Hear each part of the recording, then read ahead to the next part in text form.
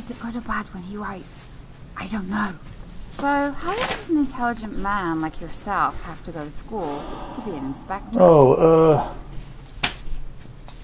Normal amount of time, I suppose. I bet you were the top of your class. Round about the middle. So, you got a name?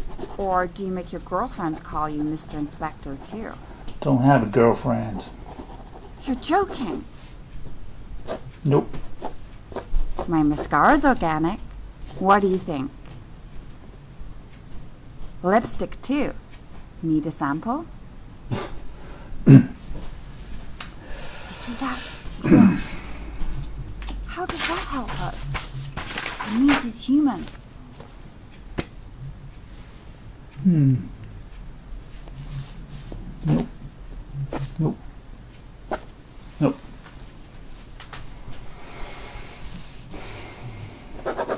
That's what I thought. Oh my. I'm glad I caught that. That's gonna change everything. Miss Riley, I'm afraid we have a problem. What? What do you mean? I did everything right? Except one thing. I double checked and triple checked You everything. signed at the wrong place. You mean we. Yep. Certified. A joke! I told you he was a human. Oh, um, now, were you really interested in seeing the pictures from my trip to El Paso, or were you just flirting with me to get the certification? The certificate. Figured. Nice effort, though.